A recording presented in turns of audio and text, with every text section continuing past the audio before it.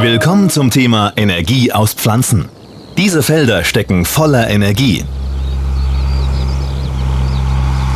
Denn aus heimischen Pflanzen lässt sich Bioerdgas gewinnen.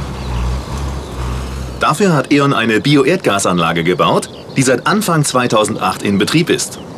Und so sieht sie aus. Hier werden Pflanzen aus der Umgebung gehäckselt, dann vergoren und mit einer innovativen Technik zu Bioerdgas veredelt, das dann in das bestehende Erdgasnetz eingespeist wird, damit man es auch zu Hause nutzen kann. Und das Ganze ist umweltfreundlich und klimaschonend.